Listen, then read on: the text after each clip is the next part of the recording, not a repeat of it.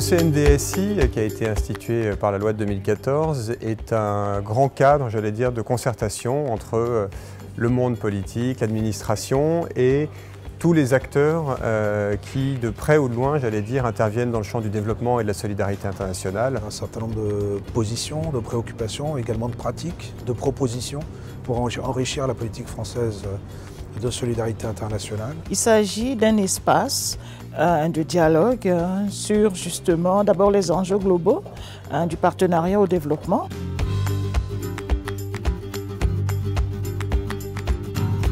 On y trouve euh, à la fois des représentants euh, d'ONG, de collectivités territoriales, des parlementaires, euh, bref, voilà tout ce qui constitue la richesse des acteurs qui interviennent en matière de développement et de solidarité internationale. Le monde académique, le monde politique comme je le disais, des représentants évidemment des pays du Sud, c'est extrêmement important d'avoir cette représentativité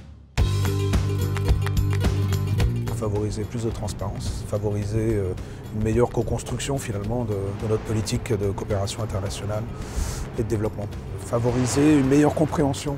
des stratégies euh, publiques euh, notamment et des apports des uns et des autres ou des positions des uns et des autres dans une politique de développement qui aujourd'hui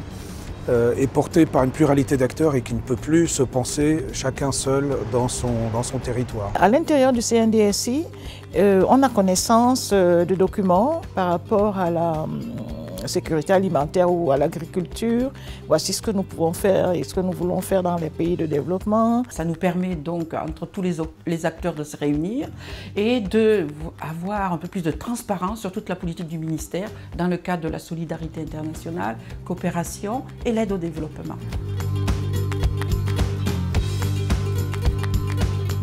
nous allons euh, travailler euh, sur euh, à la fois la contribution des entreprises à la politique de développement et donc nous aurons aussi à voir eh bien, quel est le chemin que nous prenons pour arriver à mettre en œuvre ces fameux ODD, Objectifs de développement durable, à l'échéance de, 2030. Et puis enfin,